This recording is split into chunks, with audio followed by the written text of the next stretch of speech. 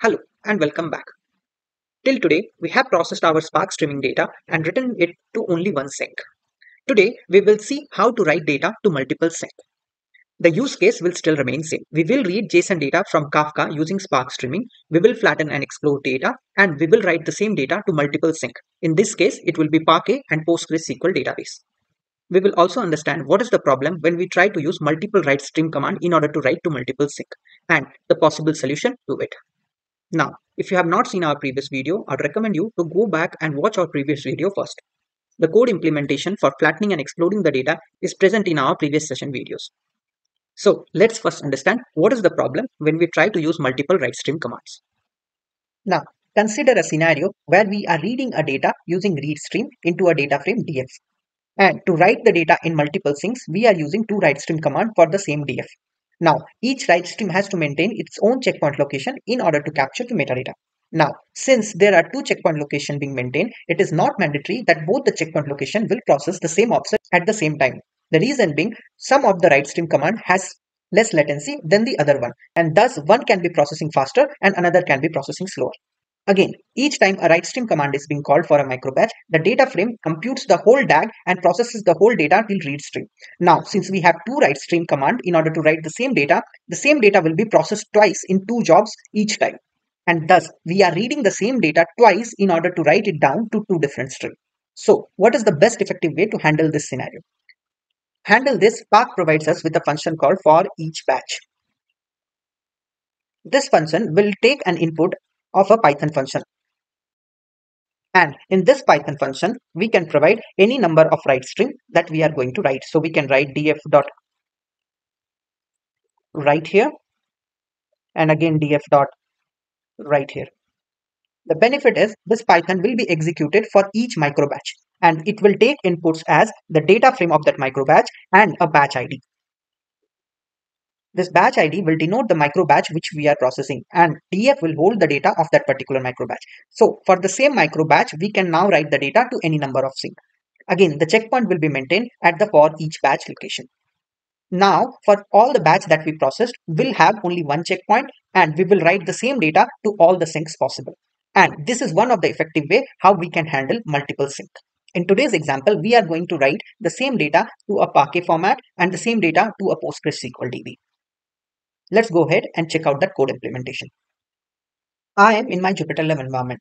This is the same code that we have used for our use case to read the JSON data from Kafka streaming source, process it using Spark streaming, flatten and explode the data, and write it back to the sink. Till today, we were writing the data in either a file format or console. We will use the same code, but today we will write to multiple sink. For today's session, I have made a smaller change to the Spark session. I have added one more extra config called Spark jar in which I have added the PostgreSQL jar, which I have already downloaded to a location called jovyan EB2 jars. Now, Spark jars can also be used to import multiple jars that you want for your Spark session. And today we will use this jar file in order to write our data to PostgreSQL. Let me run this Spark cell to generate our Spark session. Awesome, my Spark session is generated. Let me go ahead and restart my Spark UI. So I'll go to localhost 4040. Great, my Spark UI is also up and running. So for today's session, we are again going to read the data from Kafka. We are again subscribing the data from device data topic and we will start our offset from earliest. Now, in order to demonstrate how we are writing the data to multiple sink, today I will produce the data manually into the Kafka. So let me go ahead and open the command prompt and connect to the device data topic in order to publish some data. I've opened my command prompt and I'm connected to the Docker container for our Kafka. Let me use the Kafka console producer command. So I'll write Kafka console producer. And our topic is device data. And we are using the bootstrap server which is localhost 29092 as soon as i hit enter we are inside the terminal ready to publish data. Now since the code implementation is same as our previous session i'm not going to explain the code again to you. You can go ahead and check out our previous video in order to understand how we are reading the data from Kafka and flattening the data and exploding it. So I'll quickly rerun the complete cell till the write stream command. Great, the code execution in flattening is complete. Now, in our previous session, we were using the format as console in order to show the data in console. Today, we are going to write the data using for each batch. And for each batch, we'll take a Python function as an input. Now, let's write our Python function first. So to do that, I'll write def and the name of our function would be device data output. And we know that it will take a data frame as input and batch ID. So I'll just put pass for now. Let me implement the for each batch command first. So in place of format, I'll replace it to for each batch and the input for this would be our Python function, which is device data output.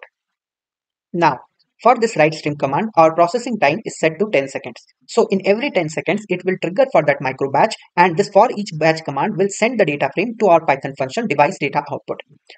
Whatever code implementation will be done for this Python function will trigger every 10 seconds for that micro batch.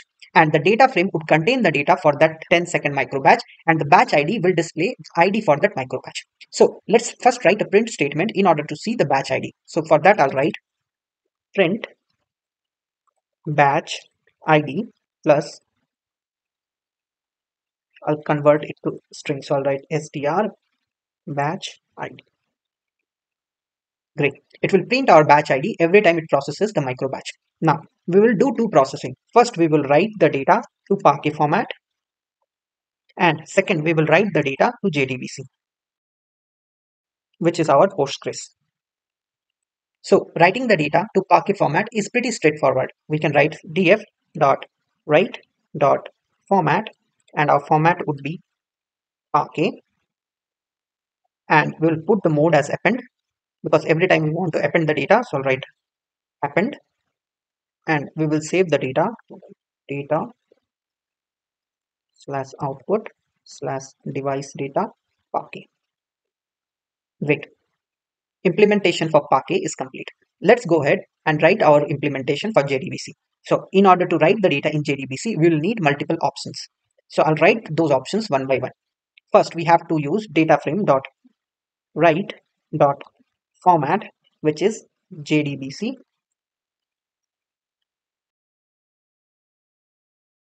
Now, JDBC would take the first option as driver. So I'll write option and I'll put driver org.postgres.driver. Now, the next option would be the URL, which would be our JDBC URL. So I'll write URL and I'll put the JDBC URL, which will be in format of jdbc.postgresql and the host name of our Postgres database with the port 5432 and the name of the database. The next option would be the name of the table.